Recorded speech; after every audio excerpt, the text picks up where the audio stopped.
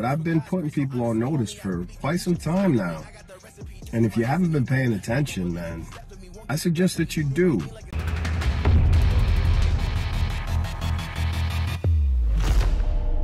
What's going on, you guys? Welcome back to EP09. Alright, so we're going to start this one off with an update from Derek Lunsford. Now, Derek has done a really great job keeping the fans updated since the 2022 Olympia. And Derek has been laser focused on that 2023 Olympia since last year. Even a $300,000 check from the Arnold Classic couldn't distract Derek for even a second. He wants that Olympia title, and I think he has a legitimate shot at taking it this year. And Derek is really starting to take his Olympia prep to the next level. This recent back training video was ridiculous to watch, you guys. His back shots are especially impressive when he enters prep. He's ridiculously wide, thick, especially for his height. And remember, Derek was only in the 230 pound range on stage at the Olympia last year. And look, you guys, the legs have definitely grew by a substantial amount, I think, as well. Now, Derek has always been someone that trains very smart, and he does push it in the gym, there's no question. But during this recent back training session, Derek just looked like he was training like an absolute animal, really training hard like you used to see from guys back in like the 90s and early 2000s era.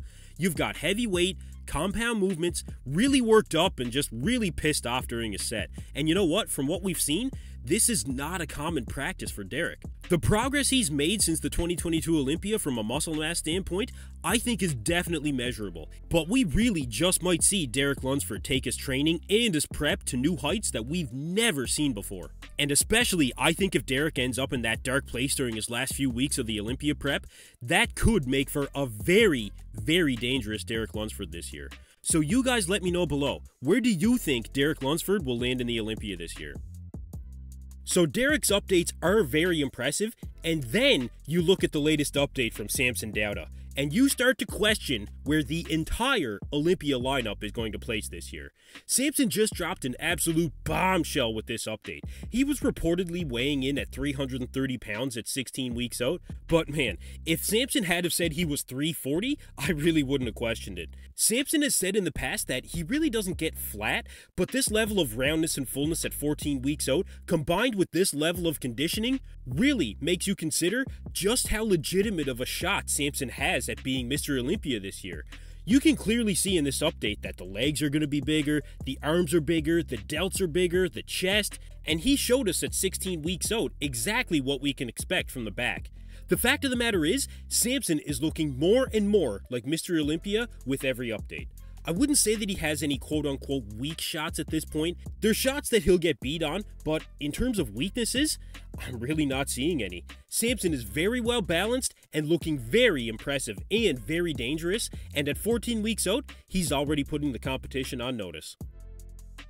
Alright, so I found a guest posing that recently featured Shouming Yan, and I spoke about Shouming Yan at 9 weeks out, but you know, I wanted to talk about him again because nobody right now is talking about Shouming Yan, and I think more people should be. So Shouming Yan appeared at a recent guest posing at an amateur show in China, and at about 8 weeks out of the Yamamoto Cup, and under terrible lighting I might say, there's only one thing that we can definitely say for sure from this guest posing.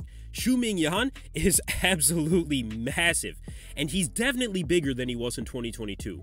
Conditioning wise, it's hard to tell where he's at from this guest posing. It looks like he's on track, but he also claims to be further ahead in the conditioning department this year than he was last year. So, like I said, it's safe to say that the size is there. The conditioning looks on track for now. The only question now is going to be the midsection. Has the added size forced the unfortunate consequence of a blown out midsection? And to be honest, I'm pretty optimistic that once he shreds down, the midsection is going to look drastically better. If you look at his 2022 showing, on that stage, the midsection was definitely not blown out. So, if he can keep that midsection in check and showcase that added muscle with undeniable conditioning, I think Shouming could be a top 3 finisher in this show coming up. And standing next to the likes of Regan Grimes, this is going to make for a really exciting comparison. So last up for you guys, one other competitor that really needs to be spoken about again is Kerrith Bajjo.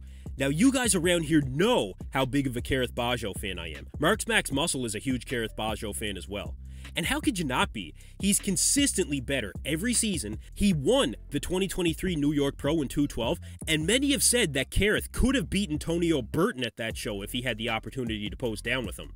He's continued to improve on his placings at the Olympia. He was 8th in 2021, 7th in 2022, and most definitely has the potential to finish at the top 5 this year, maybe even higher. But you know, Kerrith doesn't feel that he's been getting the proper recognition. Check out this clip here. Your boy's been killing it. I've been killing it. I've been doing this thing and I consistently get better.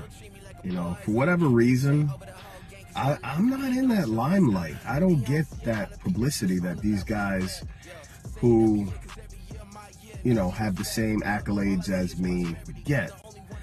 Why is that? I don't know.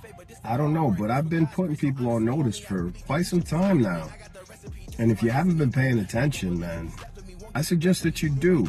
And you know, I honestly think that part of it is a 212 thing. The 212 division in general, I just think doesn't get the recognition that it should. It always seems like it's been overshadowed by the open division. Unless you're in the conversation for the top 5 at the Olympia, even the top 3, I think. When it comes to the 212, athletes just get lost in the conversation. But you know, Kerrith is positioning himself to be one of those guys in that conversation again. I think his overall balance is going to be hard to contend with. His level of hardness, graininess, and fullness is going to be hard to contend with. And I think his time is coming to start getting recognized to the degree I think he's speaking about here. There's one surefire way to make sure that happens, and that's to show up absolutely undeniable on show day, which is exactly what Kerrith has been doing lately. So let me know in the comments below where you think Kerrith Bajjo is going to land in the 2023 Olympia lineup this year, and let me know if you agree or not about the 212 not getting the recognition it deserves as a division. Anyway, that's it for me in this video, you guys. I just finished up a few days of vacation, really, really enjoyed it, so I'm glad to be back. Stay tuned for more updates. We've got the Big Man Weekend coming up. Thank you for tuning in to EP09. Be sure to like and subscribe.